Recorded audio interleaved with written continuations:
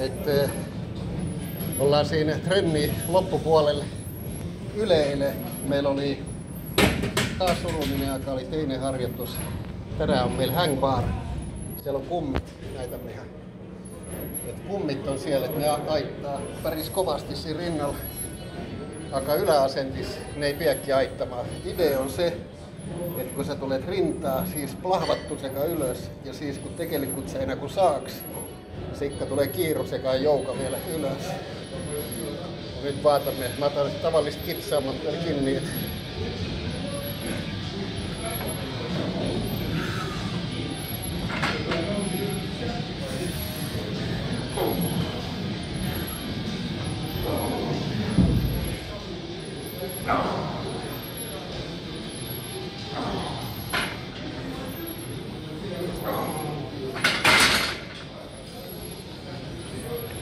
mulla on sellainen asent, että mulla on tekelikku, kun ottaa rintaa vielä se hanki siellä ala-asentissa, kun tahatte.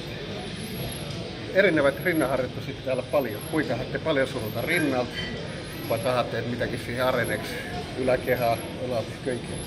Plus se teet trenni huvittavammaksi.